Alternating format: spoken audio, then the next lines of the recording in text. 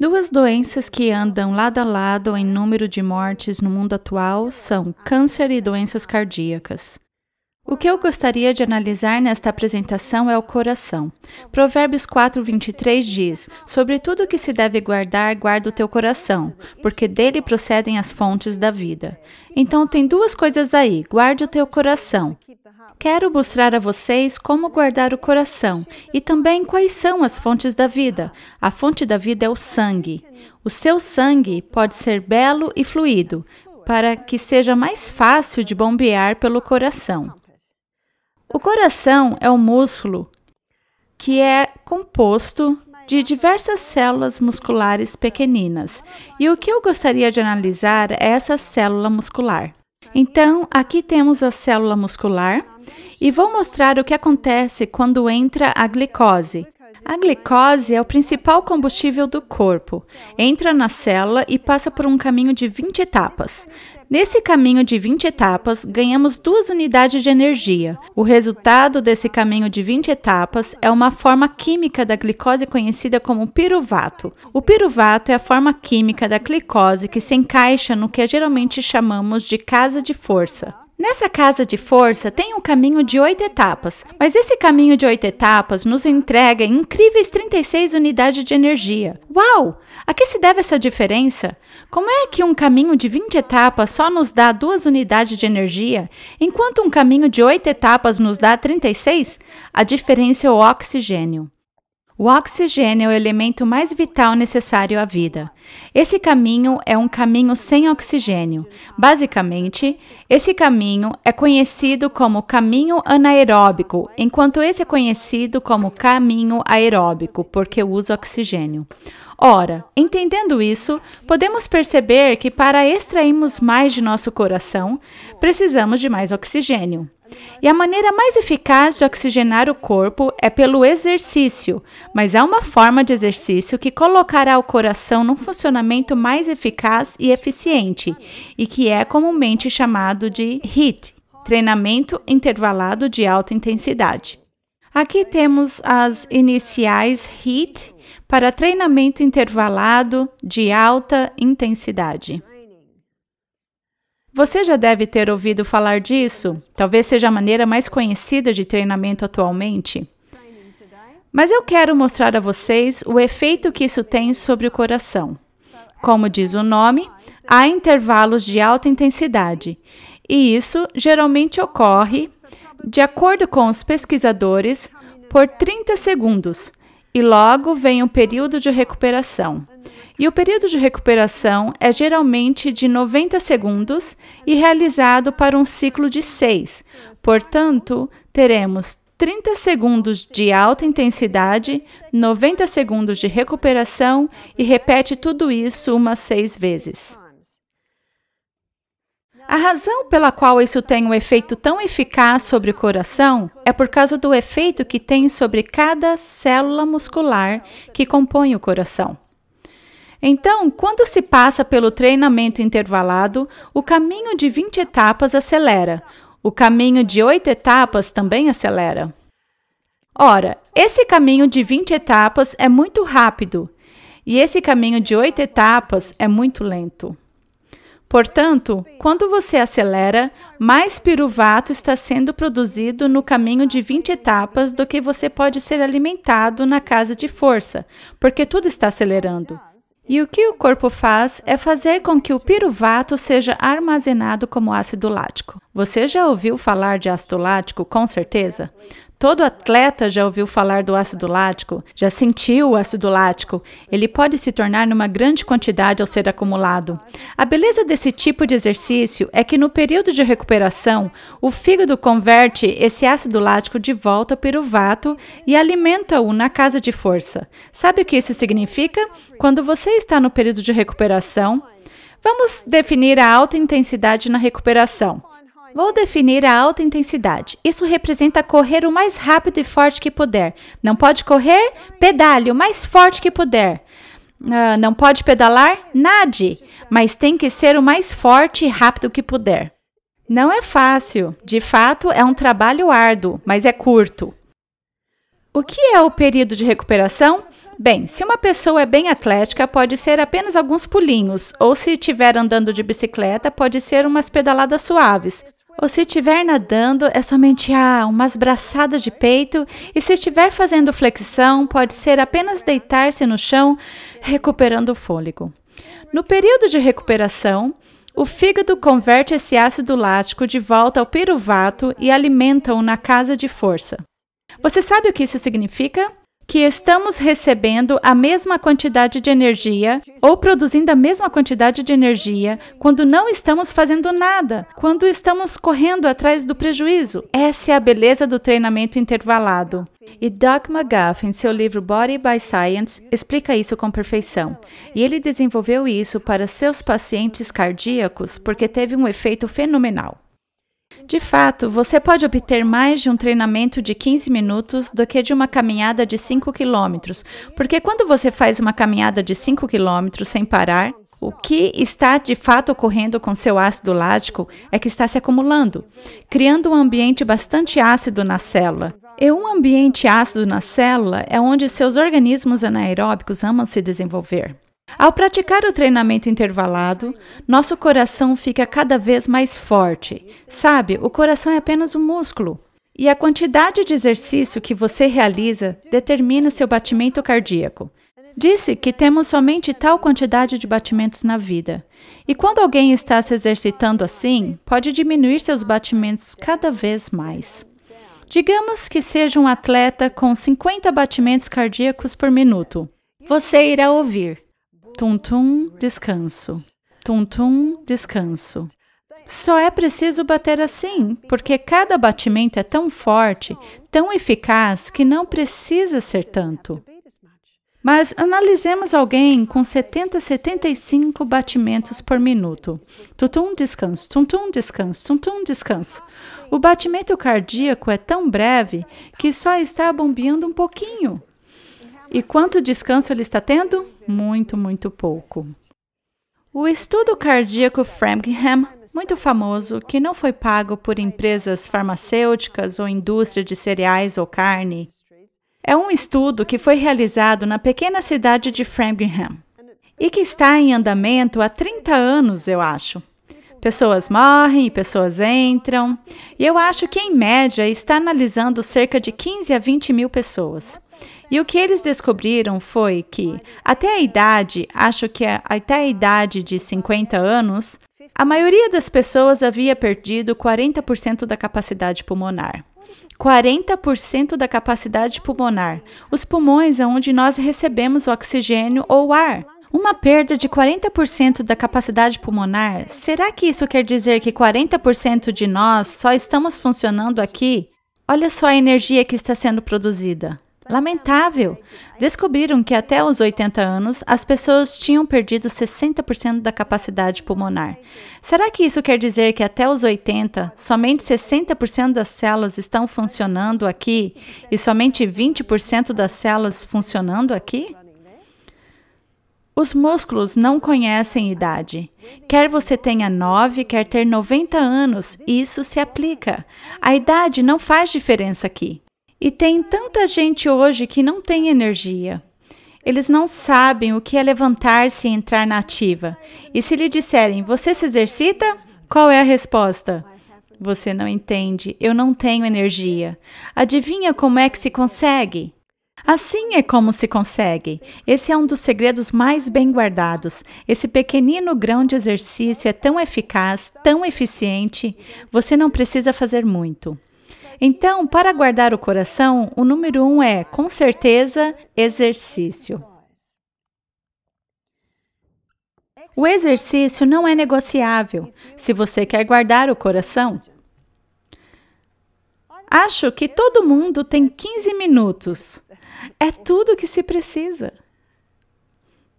Portanto, colocaremos aqui o treinamento intervalado de alta intensidade. Pense nas crianças. Elas correm e param o tempo inteiro. Veja as planícies da África. Os animais trotam ou saem disparado ou param. É um jeito muito eficaz de se exercitar. E dá para ver na ilustração que eu trouxe uma célula porque é assim. Quando você aumenta o oxigênio na célula, você aumenta a energia 18 vezes. Que diferença! Então, guarde o seu coração, ele deve ser exercitado. Número 2. Alimentos. Que tipo de alimentos sua célula precisa? Bem, há três grupos essenciais de alimentos. Número 1, um, fibra. E a fibra se encontra no alimento à base de plantas. Mas provavelmente os alimentos mais ricos em fibras são os vegetais. Os vegetais são ricos em fibras, ricos em minerais. Vegetais contêm pouco açúcar. E isso é muito importante porque os minerais são os que curam. As frutas contêm muita fibra, muito açúcar, poucos minerais. As frutas não são ruins, mas muita gente hoje tem problema de diabetes, dificuldades com câncer. Então, para essas pessoas, é melhor manter as frutas no nível baixo. Outro grupo alimentício que é essencial é a proteína. E a proteína que mais queima é a proteína vegetariana. Portanto, sua proteína vegetariana encontra-se nas leguminosas, que são lentilhas, grão de bico, fava, feijão fradinho. Quando as pessoas se queixam que têm gases quando comem, elas precisam prepará-los adequadamente devem ser deixados de molho, trocar a água, cozinhá-los, enxaguá-los novamente, porque a água está suja. Logo, é só temperar com alguns dos melhores óleos e tipos de sal e ervas naturais. Outra forma de proteína são as castanhas. Dr. Kellogg, um médico muito famoso, que escreveu muitos livros sobre a saúde, disse que as castanhas são uma das formas mais puras de proteína e sementes. Semente de abóboras, semente de girassol, semente de linhaça, semente de chia. O outro grupo essencial são as gorduras. Pelo fato de haver algumas gorduras que são prejudiciais, com frequência todas as gorduras são colocadas na mesma categoria. No entanto, as gorduras são um grupo alimentício essencial. Sabe, 50% da membrana que circunda cada célula é composto de proteína, e 50% da membrana que circunda cada célula no corpo é gordura. A gordura é um nutriente essencial. Nosso corpo não funciona sem ela. Isso para toda célula no corpo, exceto os neurônios, que são 70% gordura. Seu cérebro é o órgão mais gordo do corpo. Muita gente parou de ingerir gorduras por querer diminuir as taxas de colesterol. Vamos analisar o colesterol, mas antes quero definir que as melhores gorduras são as castanhas, as sementes e os óleos de oliva e de coco. São dois óleos que foram usados por séculos. Portanto, o tempo testifica que eles são os óleos de melhor qualidade. Certifique-se de obter o primeiro óleo de oliva prensado a frio. Os cocos são usados há séculos por todas as ilhas do Pacífico Sul, e essa gente experimentou um auxílio excelente antes de o homem branco surgir com seus alimentos refinados. Portanto, vamos analisar o colesterol. Seu fígado produz o colesterol e o produz de acordo com as exigências do seu corpo. Portanto, se os níveis de colesterol estão altos, minha pergunta é: por quê? Sabe, o colesterol é como o band-aid no corpo. O colesterol tem alguns papéis. Mas vejamos, seu fígado produz o colesterol. E 80% do colesterol que o corpo produz é composto de glicose. E 20% do colesterol que seu corpo produz vem das gorduras. Ora, só de olhar essa equação, dá para ver que o problema não é a manteiga no pão, mas o pão debaixo da manteiga. Sabe, a gordura tem uma reputação ruim, mas o problema é maior com o que ela está associada. Então, analisemos os dois tipos de colesterol que o fígado produz: Os dois principais. Temos lipoproteína de alta densidade, HDL, e a lipoproteína de alta densidade é vista como mocinho, porque a lipoproteína de alta densidade leva consigo o excedente. A lipoproteína de baixa densidade, conhecido como LDL, é vista como a reparadora ou a reconstrutora, porque é o que ela faz. O LDL tem outra função. O LDL entrega colesterol ao cérebro. E o cérebro ama colesterol. É o órgão mais gorduroso do corpo. Você sabia que o alimento mais rico em colesterol é o leite materno?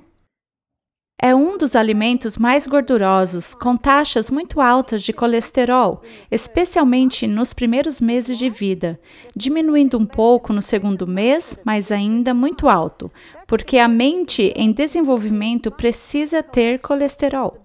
A mente em desenvolvimento precisa ter essa gordura elevada, ou na verdade, talvez nem se desenvolva adequadamente. Aqui temos as paredes da artéria que compõem a artéria, e devido à sua baixa densidade, o LDL sempre se encontra à margem. E devido à sua alta densidade, o HDL se encontra no meio. Digamos que uma pessoa fuma cigarros. As 4 mil substâncias químicas no cigarro prejudicam a parede arterial e podem até mesmo fazer um furo nelas. Digamos que uma pessoa esteja respirando mofo todas as noites, sabe? Mofo no teto, nos travesseiros. A levedura no sangue pode fazer um furo nas paredes. Digamos que alguém tem bastante obturações de mercúrio na boca, tentando ficar saudável. Quantas pessoas acham que o peixe é um bom alimento? Não é. Possui muito mercúrio. O mercúrio é uma neurotoxina citotóxica e pode produzir furos nas paredes arteriais. E se uma pessoa tem uma dieta com muito açúcar e uma dieta com muito álcool, isso está alimentando os micróbios. E o que vai remendar esses furos? Ora, se os furos permanecerem, o sangue vai vazar. O LDL, sendo reparador e reconstrutor, remenda o furo. É o que ele faz, nos salvando. Ora, o que deve acontecer é que essa pessoa deveria parar de fumar, parar de ingerir álcool, sair da casa cheia de mofo, ou queimar os travesseiros ou colchas mofados. Diz a Bíblia: Devem parar de comer peixe e começar a comer lentilhas e humus para ter proteínas. E o que acontece então é que os danos acabam. Sabe, recentemente, um amigo meu que tinha um programa de entrevistas no rádio, onde diziam que a combinação de leite e açúcar pode quebrar a parede arterial. Não é interessante? Leite e açúcar. Isso é o seu sorvete, seus cremes. Quantos não colocam leite e açúcar nas xícaras de café que tomam, nos chás, nos cereais? Muitos produtos têm a combinação de leite e açúcar. O que deveria acontecer é que tudo isso deveria parar. O que mais deveria acontecer é que a pessoa deveria comer alimentos altamente nutritivos. E isso dá ao corpo tudo o que ele precisa para reconstruir esses furos. E quando esses furos são totalmente curados, o HDL entra em cena e leva consigo o colesterol em excesso. Dá para ver que o HDL e o LDL fazem parte da equipe de manutenção nas artérias, sustentando essa pequena rede capilar, essa pequena rodovia que eles levando o rio da vida, a vida da carne a todas as partes do corpo. E assim, se os níveis de colesterol aumentam muito, a pergunta a ser feita é: por que estão tão elevados? O que está danificando a parede arterial, chamando o colesterol para consertá-la? Em nosso recanto de saúde, tenho muitos livros. Um deles se chama The Great Cholesterol Deception. O outro se chama The Great Cholesterol Hoax, do Dr. Malcolm Kendrick. O Dr. Malcolm Kendrick é um cardiologista britânico e foi isto que ele disse. Pela primeira vez, níveis normais de uma substância corporal vital está sendo chamada de doença. E, obviamente, ele está se referindo ao colesterol. Tem outro livro chamado de Cholesterol Con, outro de Cholesterol Hoax, e esse livro é um e-book do Dr. Dwight Lundell. Ele é um cirurgião cardiovascular. Já realizou mais de 10 mil cirurgias de ponte de safena e seu e-book se chama The Cholesterol Lie. Há outros tantos livros. Um se chama Who Will Tell the People It's Not Cholesterol? Tem outros escritos por um médico e se chama The Human Cost of Lipitor. Porque se alguém tem taxa de colesterol, a propósito, quando é que a taxa de colesterol está alta? Sabia que há 40 anos os médicos não se preocupavam se os níveis de colesterol estavam abaixo de 300? Hoje, eles se preocupam se estiver acima de 220. O que aconteceu? O corpo humano não mudou. Eu gostaria de sugerir que foram as empresas farmacêuticas que estão dizendo isso. Porque se alguém estiver com taxa de colesterol acima de 220, lhe será receitado medicamento para baixar o colesterol. Ora, os dois mais comuns são Lipitor e Crestor. E o que eles fazem? Eles bloqueiam o caminho no fígado que o fígado usa para produzir o colesterol. Mas o mesmo caminho que o fígado usa para produzir o colesterol, também usa para produzir a coenzima Q10. E a coenzima Q10 atua como protetora cardíaca. Então, se alguém passar a usar medicamentos para baixar o colesterol, e lhe dizem que isso pode evitar um ataque cardíaco, na verdade, pode aumentar as chances porque agora perderam a coenzima Q10. Vou lhe dar alguns efeitos colaterais do Lipitor: perda de memória, demência, Alzheimer, perda muscular, Dá para entender por que as pessoas têm perda de memória, Alzheimer e demência quando passam a fazer uso de medicamentos que reduzem colesterol? Porque o cérebro precisa de colesterol. O cérebro precisa da gordura. É o órgão mais gorduroso do corpo. Acabam de adicionar mais uma lista, o câncer de mama. E até minha última palestra, você verá que se não tivermos colesterol bastante, se nossas taxas de colesterol não forem altas o bastante, não duraríamos nem seis meses. Precisamos de colesterol. Deus não cometeu um erro ao colocar LDL e HDL em nosso corpo. Ele não cometeu nenhum erro quando disse ao fígado para produzi-lo, porque vemos que eles são a equipe de manutenção. Precisamos de colesterol. E se as taxas de colesterol forem muito baixas, essa pessoa pode ficar deprimida e até com pensamentos suicidas, porque o cérebro não tem seu combustível mais importante. Muitas pessoas deixam de ingerir gordura porque eles dizem que é a gordura que aumenta o colesterol, mas a gordura não faz com que as taxas de colesterol aumentem. O Dr. Robert Atkins, na década de 80, quando colocou seus pacientes numa dieta que era alta em fibras e muito generosa em proteínas e gordura, ele a fez assim para perda de peso. E as taxas de colesterol de seus pacientes estavam diminuindo. Isso o deixou confuso. Ora, por que nos dizem que esses são os alimentos que farão com que as taxas de colesterol aumentem? Mas ele descobriu que era o contrário. Ele foi às revistas de medicina e descobriu que na década de 70 houve uma pesquisa que mostrou que o colesterol da dieta possui pouco ou nenhum efeito com o colesterol do sangue. Sabe, é o fígado que produz o colesterol. E se ele está produzindo muito colesterol, é preciso se perguntar por quê. Serão cigarros? Serão leite ou açúcar que as pessoas estão consumindo tanto? Será o álcool? Será o travesseiro mofado? Serão os dentes com obturação de mercúrio? E é por isso que devemos colocar a lupa de detetive em ação, porque sempre há um motivo. Há um ano, passei uma semana com uma mulher que era uma nutricionista PhD certificada pelo governo. Ela me disse isso. Ela disse: É simplesmente ridículo. Há 40 anos, disse ela, nos diziam que qualquer coisa abaixo de 300 em taxas de colesterol seria perfeitamente normal. Mas ela disse que eles mudaram. Ora, um homem veio me procurar recentemente com taxa de 250 e eu disse: sem problema, nenhum problema. Você nunca terá Alzheimer. O estudo cardíaco Framingham mostra que as pessoas com taxas elevadas de colesterol nunca tiveram Alzheimer.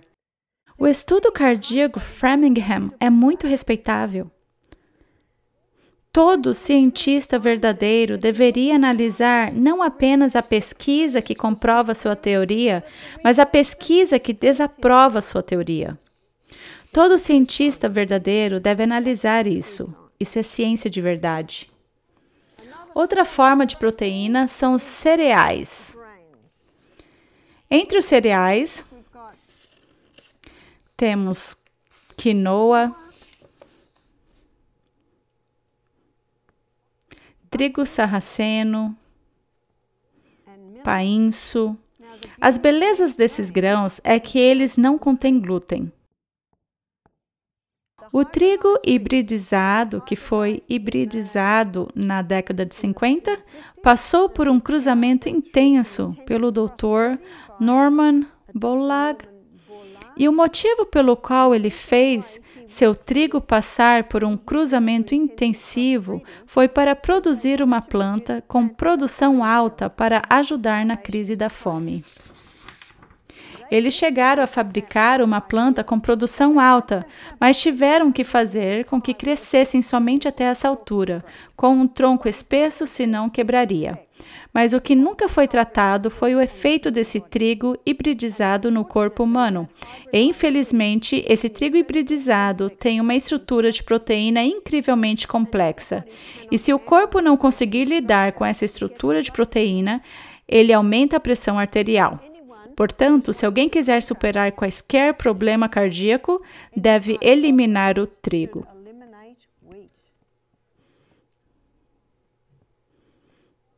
Mas é possível conseguir o trigo original? Chama-se encorn.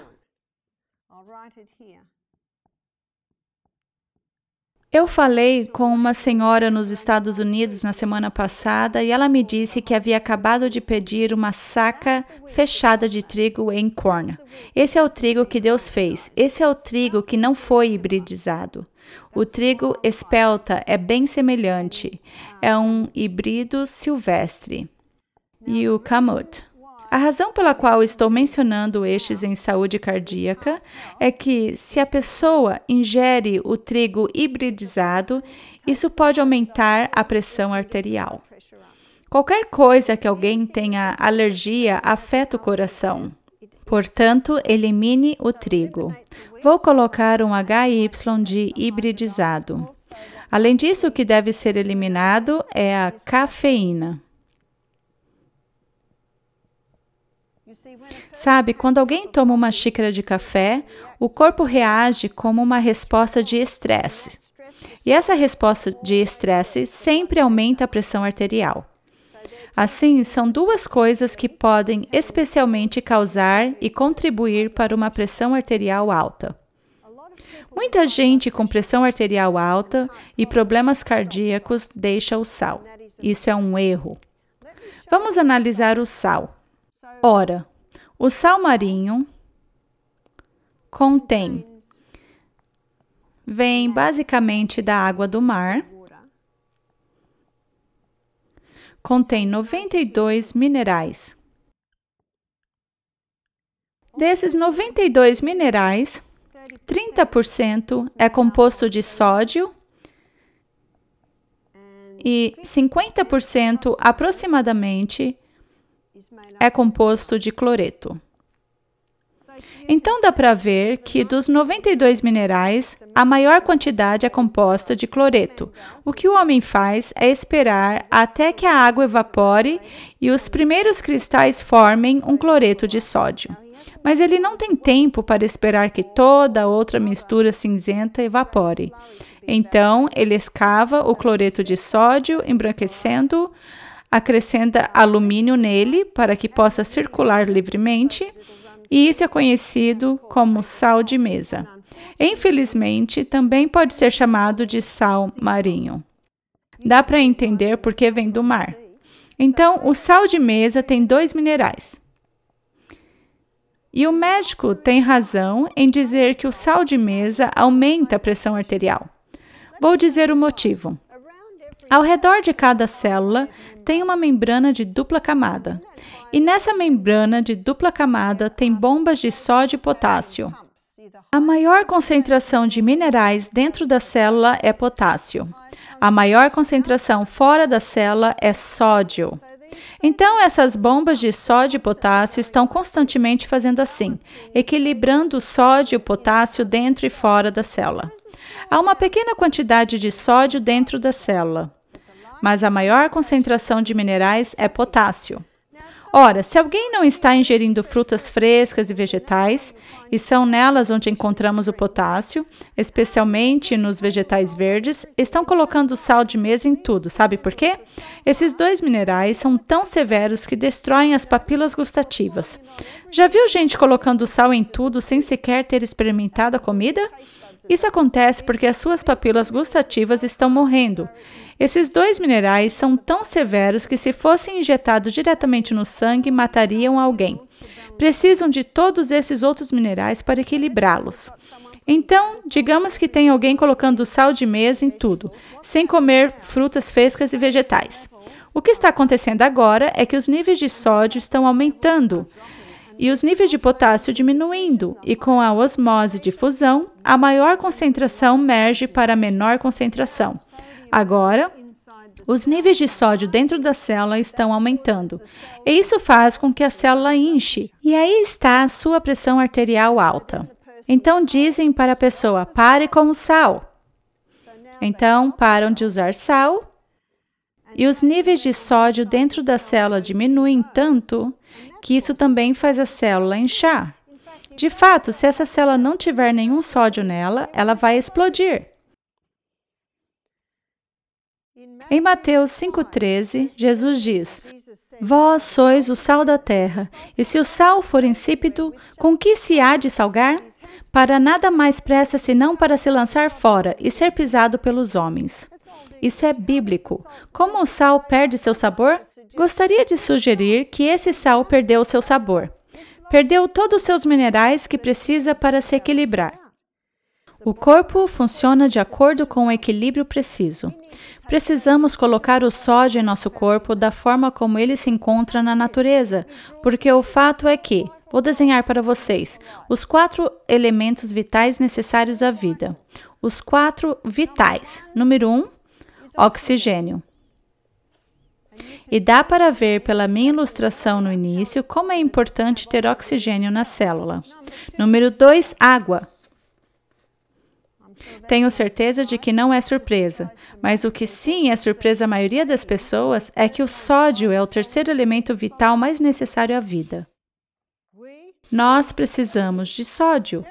Toda vez que choramos, toda vez que transpiramos, perdemos algo. Precisamos reabastecê-lo, mas que seja de forma como o encontramos na natureza. Número 4 é o potássio.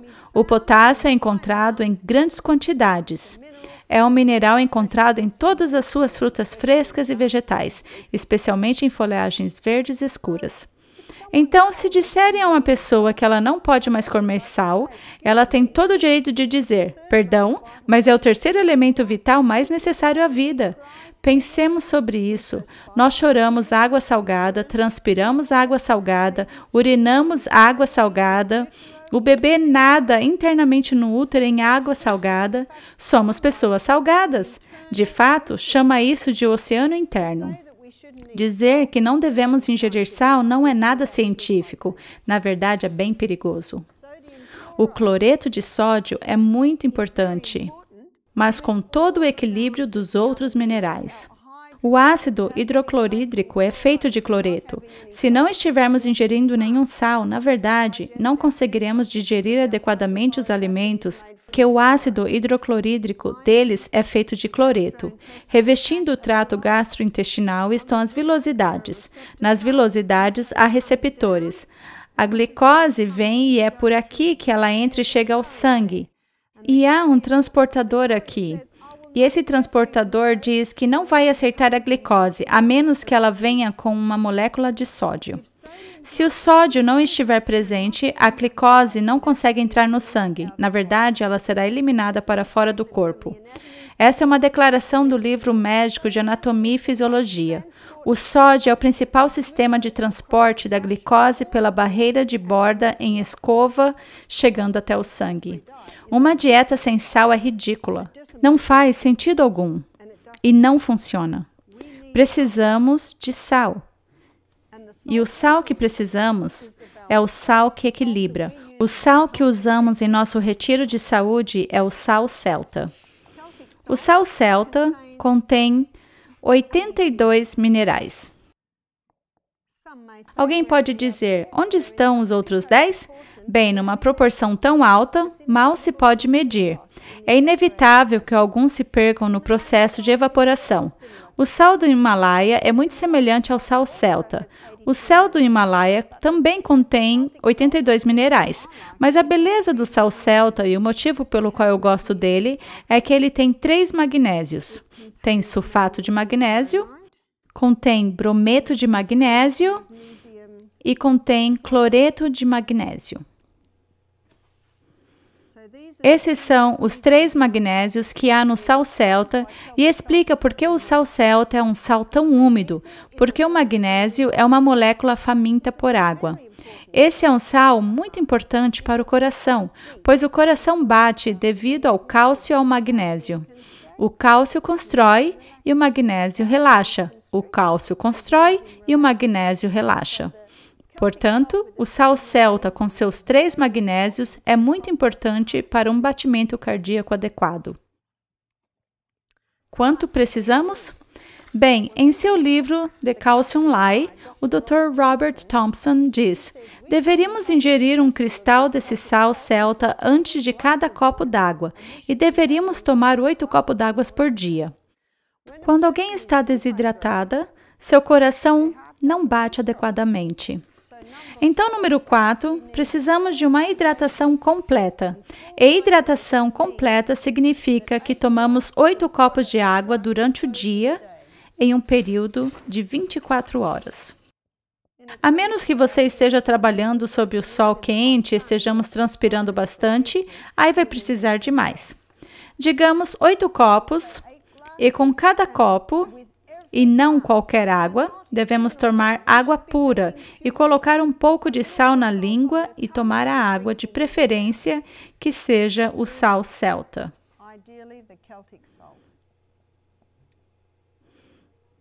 O Dr. Lalangre, ele é um médico francês que escreveu um livro sobre o sal.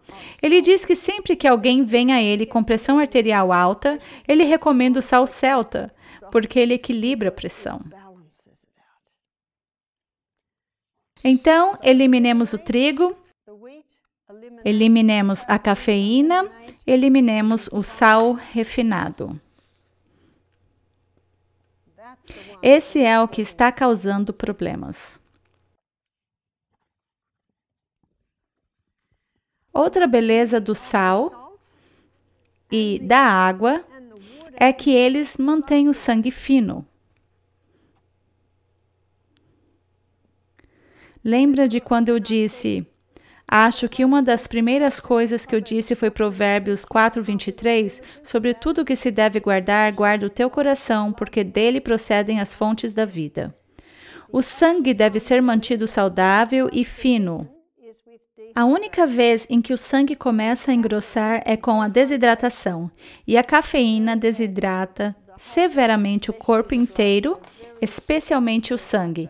Então é muito importante para uma hidratação completa.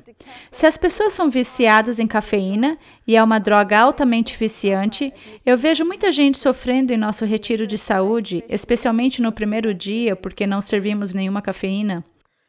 E o autor do livro Caffeine Blues tem um capítulo chamado Livrando-se de uma droga.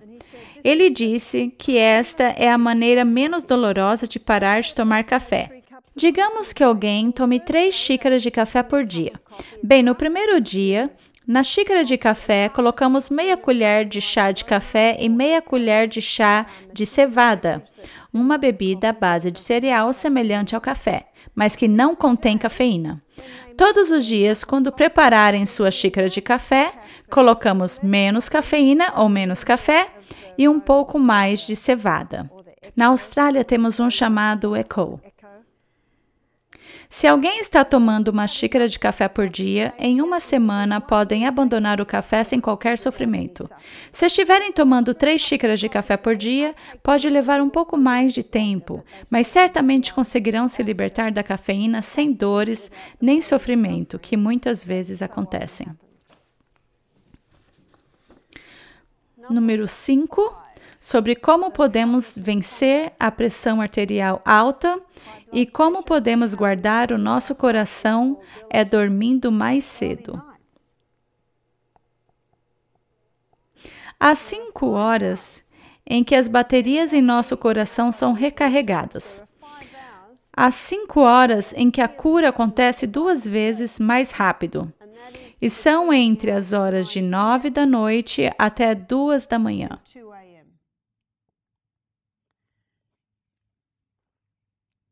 Atualmente, muita gente, devido à tecnologia, está indo dormir muito tarde e estão perdendo as horas mais eficazes.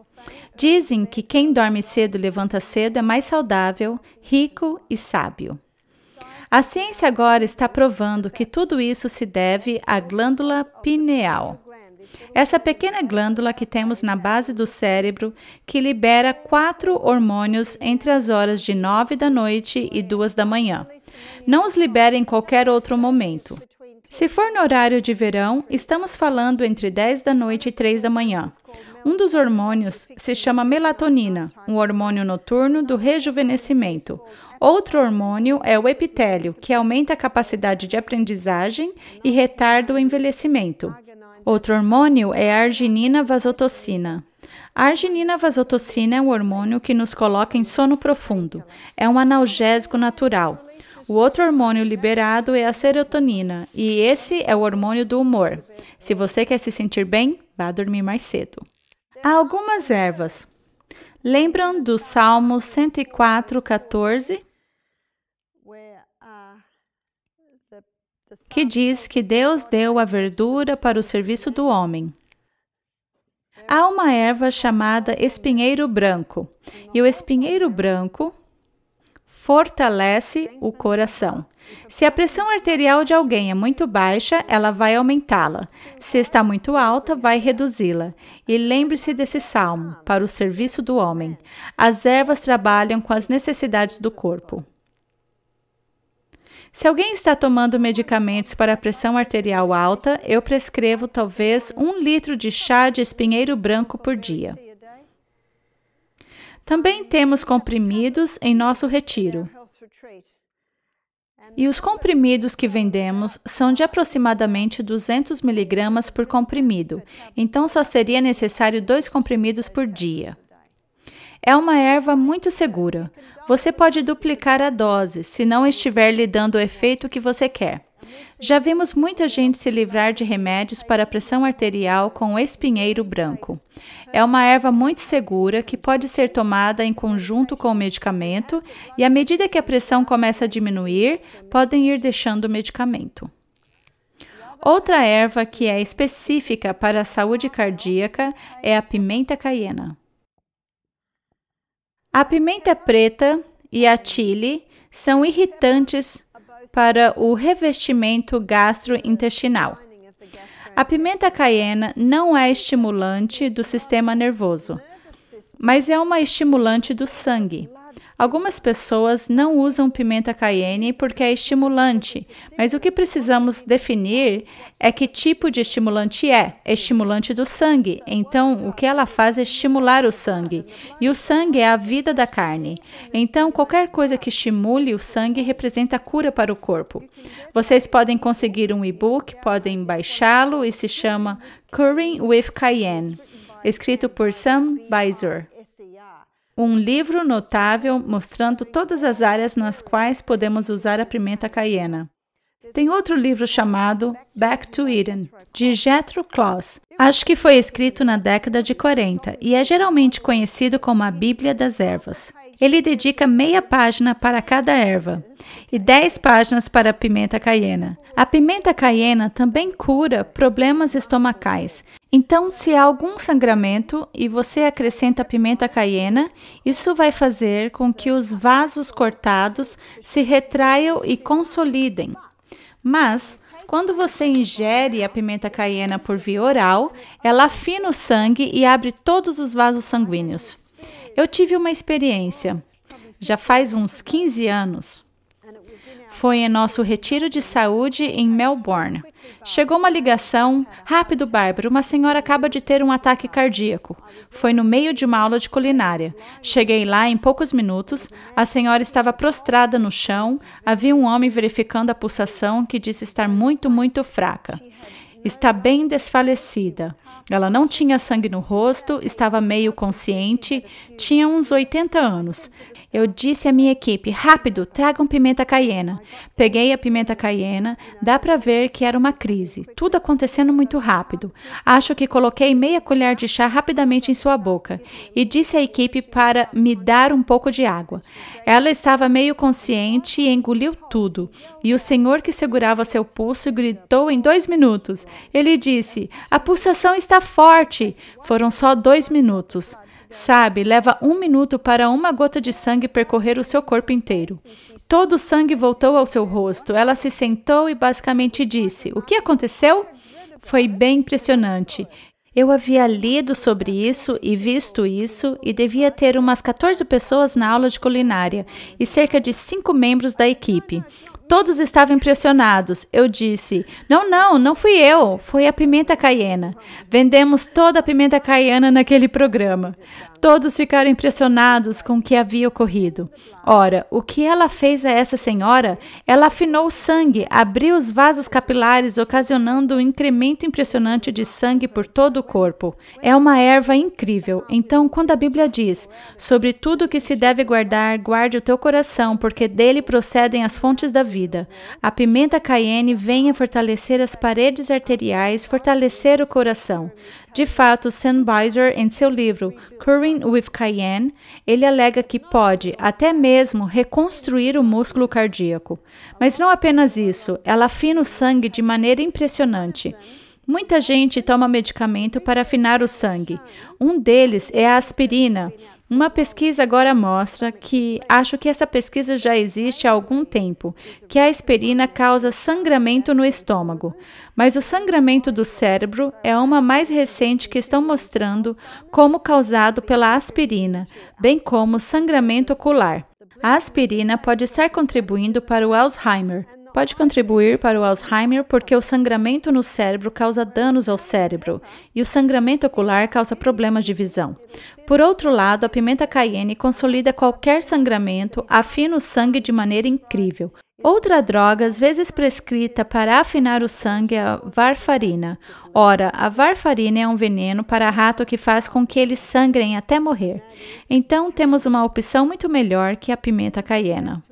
No livro Back to Eden, há alguns médicos que dão sua experiência com a pimenta caiena.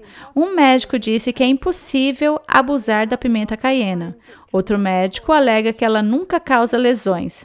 Eu trabalho com pimenta caiena por mais de 20 anos e eu digo a mesma coisa. É uma erva incrivelmente segura. Ela guarda o coração e também mantém a fonte da vida, o sangue que sai do coração, belo e fino. Uma das coisas que mencionei que mais engrossa o sangue é a cafeína e também os açúcares refinados. Algo mais que engrossa o sangue são as drogas. Lembrem-se que as drogas nunca curam doenças, elas somente alteram as formas e locais das doenças. E pelo fato de o corpo as considerarem um elemento químico tóxico, ele usa muita água para tentar proteger o corpo dos efeitos danosos das drogas. Então, para guardar o coração, certifique-se de exercitar-se diariamente, certifique-se de ter uma dieta à base de plantas, isso automaticamente mantém o sangue saudável e fino. Certifique-se de ter quantias adequadas de gorduras. As gorduras são totalmente essenciais. Mas as gorduras que são essenciais são as castanhas, as sementes, os abacates, os cocos e os azeites de oliva. Se quiser analisar o ponto de vista de Deus sobre o azeite de oliva, pegue sua concordância e faça um estudo bíblico sobre o azeite de oliva, e você verá que tem o selo de Deus. É um óleo maravilhoso. Elimine algumas coisas que devemos parar. Lembre-se da página 42 de Ciência do Bom Viver. Em caso de doença, convém verificar a causa. As condições insalubres devem ser mudadas, os maus hábitos corrigidos. Então se auxilia a natureza. Como se auxilia a natureza? O espinheiro branco, a pimenta caiena, dormindo cedo, uma dieta à base de plantas, o exercício, eliminando as coisas prejudiciais, mantendo-se plenamente hidratado. Então se auxilia a natureza em seu esforço para expelir as impurezas e restabelecer as condições normais do organismo. Temos que guardar o coração, porque quando ele para, nós paramos. Sabe, um dos sinais de doença cardíaca é geralmente a morte súbita. Ups! Tarde demais. E dá para ver que porque as pessoas estão tendo tantos ataques cardíacos ultimamente, na verdade não é a gordura. E ainda que haja um acúmulo de colesterol, culpar o colesterol pela doença cardíaca é como colocar a culpa do incêndio nos caminhões de bombeiros. Ora, os caminhões de bombeiros devem ter causado o incêndio. Eles estão sempre lá, dá para ver que colocar a culpa no colesterol pelo ataque cardíaco é quase como um subterfúgio para esconder a causa verdadeira quanto ao motivo pelo qual esses acúmulos estão ocorrendo na artéria. E lembre-se, seu cérebro precisa de colesterol. Não funciona sem colesterol. Precisamos das gorduras boas, precisamos de boas proteínas e precisamos dos altos níveis de proteínas encontrados nos vegetais. Sim, algumas frutas, as frutas não são ruins, mas se alguém quer perder peso, se alguém tem presença de levedura, se tem diabetes, se tem câncer, então as frutas precisam ser uma quantidade muito baixa, talvez até eliminadas por um período de tempo. O corpo humano foi projetado para curar a si mesmo e vai se curar se lhe forem dadas as condições adequadas.